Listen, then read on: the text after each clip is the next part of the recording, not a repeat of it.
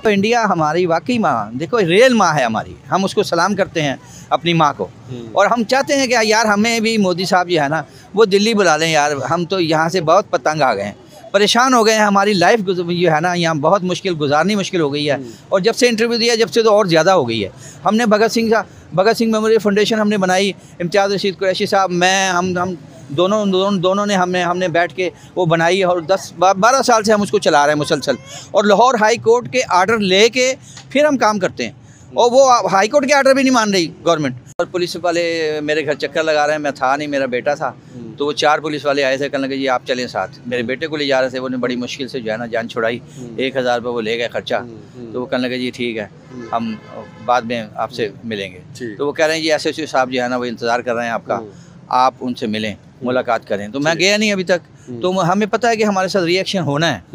हक बात यहाँ कहना मुश्किल है पाकिस्तान के अंदर ना। वहाँ लंदन में मोहम्मद अली जिना वहाँ पढ़ा करते थे। वहाँ से उनको निकाला उसको ना उर्दू आती है ना कुरान पढ़ा हुआ।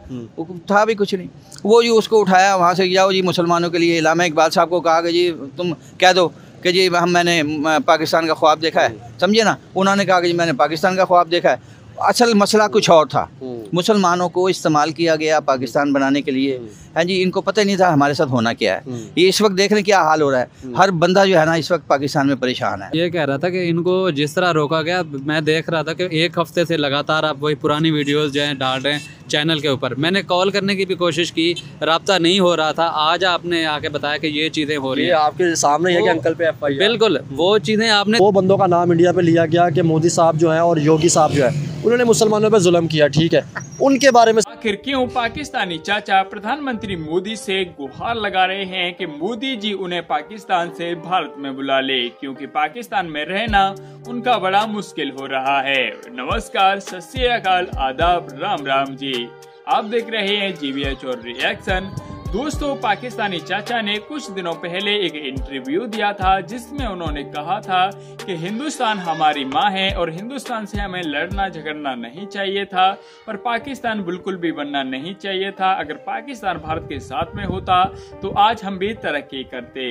दोस्तों इस बयान के बाद पाकिस्तान की पुलिस उन्हें बहुत ज़्यादा तंग कर रही है। कभी उनके घर पर आ रही है कभी उनको उठा लेती है कभी पैसों की डिमांड कर रही है कभी उनको गद्दार बताया जा रहा है। की बात है जो हक सच की बात होती है वही करनी चाहिए। बातें मैं कहता हूँ बातें वो थी जो दिल से निकली थी और दिल से जो बात निकलती है वो असर रखती है। जी हाँ जी हाँ जी। बिल्कुल ऐसे ही है। अच्छा मुझे ये बताएँ टॉपिक शुरू करने से पहले जो बात तो करेंगे करेंगे पहले सबसे पहले ये बताएँ आपने तो इंटरव्यू दिया था कि यार मुल्क के रिलेशन बेहतर हो सके ठीक है जैसे आपने कहा कि हिंदुस्तान माँ है ठीक है मुल्कों के साथ नफरत नहीं होनी चाहिए ठीक है बुरे अच्छे लोग हर जगह पे होते हैं थ्रेट्स क्यों आना शुरू हो गए जैसे आपका बिल आया जैसे आप पे पर्चा कट गया तो इसके बारे में समझ नहीं आई जैसे मतलब मेरा बिजली का मीटर जो है ना वो उतार के ले गए। अच्छा। और कोई अट्ठाईस हज़ार कुछ रुपये बिल था। अच्छा। अब वो जनाब एक लाख तेरह हज़ार रुपये बिल आ गया। अच्छा। सिर्फ़ इस वजह से? इस वजह से। और पुलिस वाले मेरे घर चक्कर लगा रहे हैं मैं था नहीं मेरा बेटा था। तो वो चार पुलिस वाले आए थे कहने लगे जी आप चलें साथ। मेरे बेटे को ले जा रहे थे उन्होंने बड़ी मुश्किल से जो है ना जान छुड़ाई। एक हज़ार रुपये वो ले गए खर्चा। तो वो कहने लगे जी ठीक है हम बाद में आपसे मिलेंगे। तो वो कह रहे हैं जी एस एस साहब जो है ना वो इंतज़ार कर रहे हैं आपका। आप उनसे मिलें मुलाकात करें। तो मैं गया नहीं अभी तक। तो हमें पता है कि हमारे साथ रिएक्शन होना है। हक बात यहाँ कहना मुश्किल है पाकिस्तान के अंदर ना।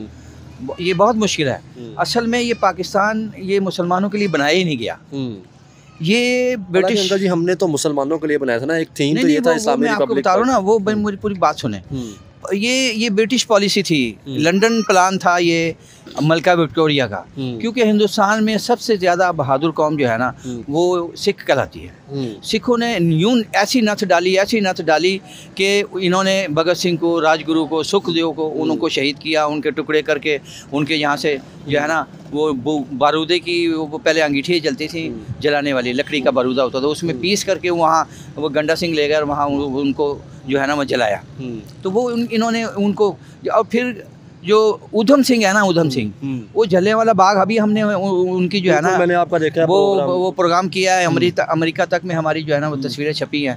तो उधम सिंह तक में तो तस्वीरें छप गई लेकिन लेकिन लेकिन शर्म की बात यह कि हमारी मेन टीवी मीडिया ने नहीं छापी। हम फिल्मी हीरो को तो अपने हीरो बना लेते जो रियल हीरो थे हम शायद वो उनको भूल जाते हैं। तो वो उधम सिंह ने लंदन में जाके जनरल डायर को मारा।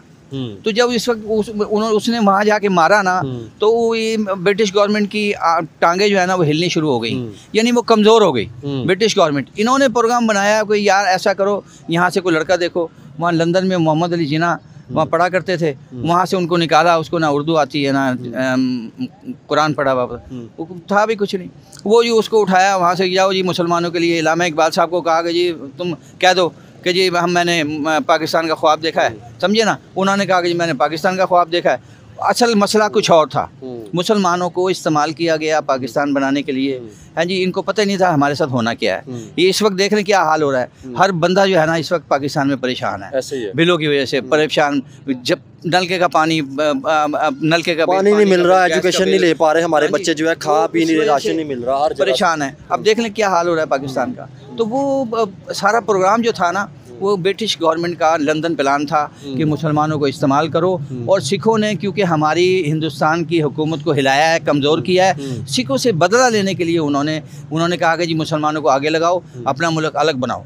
और सिखों से ये सारी पवित्र जगहें जो है ना उनका बाबा गुरु नानक साहब हाँ जी ननकाना साहब वो छीन लो पंजा साहब छीन लो और उनका जो है ना करतारपुर साहब वो ये सब कुछ छीन लो। और जनाब पंजाब के दो टुकड़े करो और इधर से निकालो सिखों को और वहाँ भेज दो। चढ़ दे पंजाब में।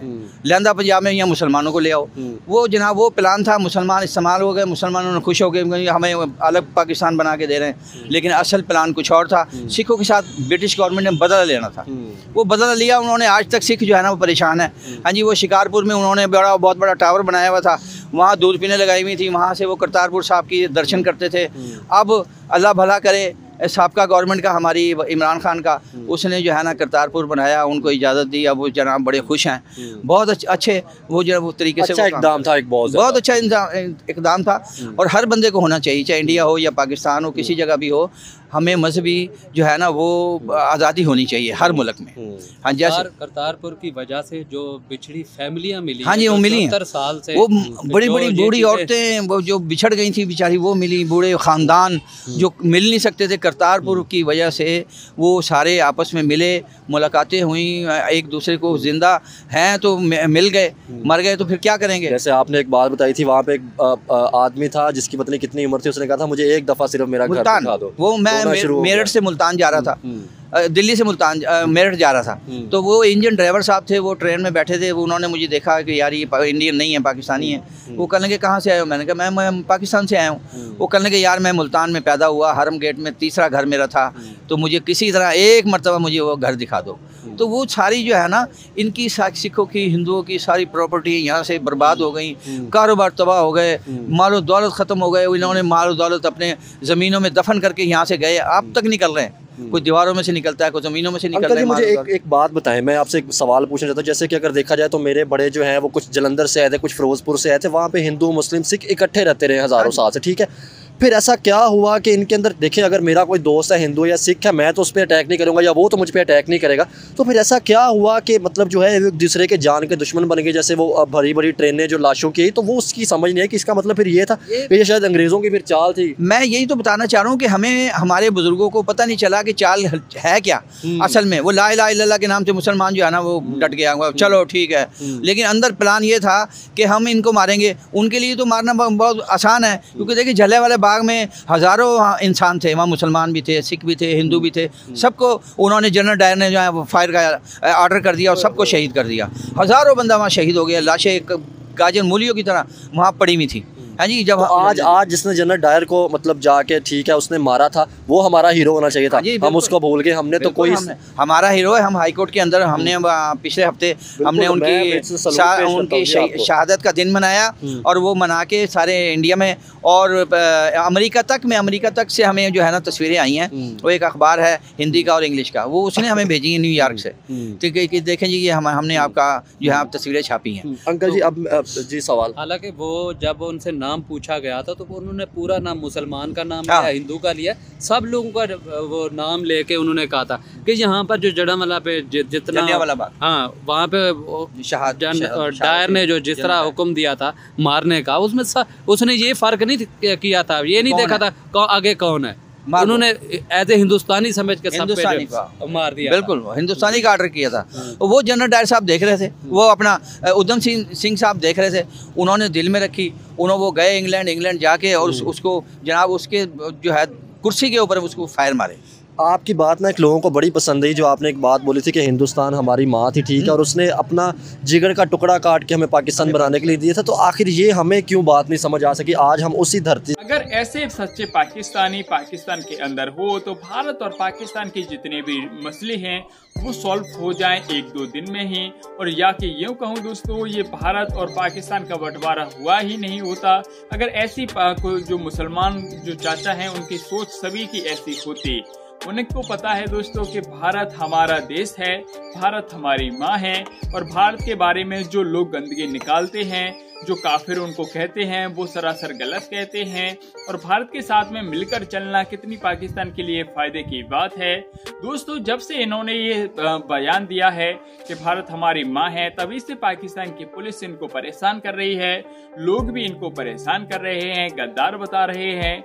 जो इन्होंने कहा था दोस्तों, फैक्ट के बुनियाद पर कहा था, सच्चाई की बुनियाद पर कहा था। और दोस्तों, अपने लोगों की सोच होती है, उस सोच पर कहा था। मगर पाकिस्तान की पुलिस को वहाँ के हुक्मरानों को इनको बिल्कुल भी पसंद नहीं आ रही है। और ये एक एनजीओ भी चलाते हैं भगत सिंह के नाम से।